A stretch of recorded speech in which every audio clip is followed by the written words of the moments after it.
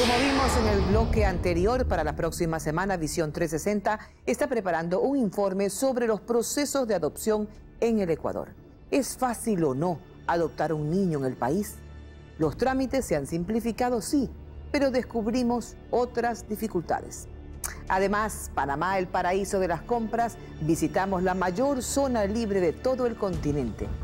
Pero entérese qué puede traer y qué no según las normas aduaneras del Ecuador. También los Gigantes de la Plata. Un equipo de Visión 360 acompaña a un grupo de científicos que explora las aguas del Pacífico para mostrarnos los tesoros naturales de las profundidades. Todo esto en los alrededores de la isla de La Plata, en el Parque Nacional de Machalilla. Gracias por acompañarnos. Nos despedimos con una selección de las mejores imágenes de los reportajes de hoy. Un abrazo. Seguimos adelante.